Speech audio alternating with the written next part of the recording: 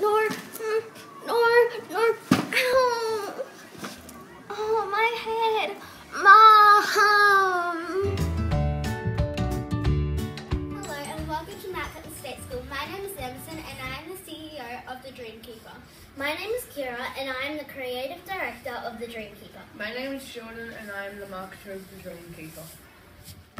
On the market day, we sold all our products and made a total of $95 in revenue, with all profits going to charity. This was a fun and learning experience to get us ready for the future. Our problem was students not getting a good night's rest and we wanted to fix this problem because We believe that all students should have the right to work at the best of their abilities all the time. So we have made dream catchers to help fix this problem. Our product was made in a range of different colours with small ornaments to make it stand out and attract many different people. Our product was aimed for kids for, at the age of 5 to the age of 12. I learnt that it's not only about earning the most money, learning how it all works, but to enjoy myself while becoming a kidpreneur.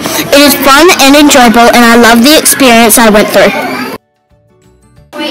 The Kidpreneur Challenge has helped me to understand what being an entrepreneur is like and has taught me many lifelong entrepreneur skills.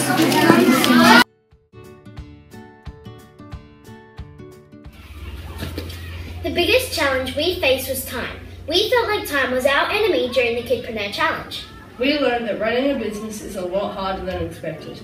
Thank you for watching and remember to vote the Dream Keeper.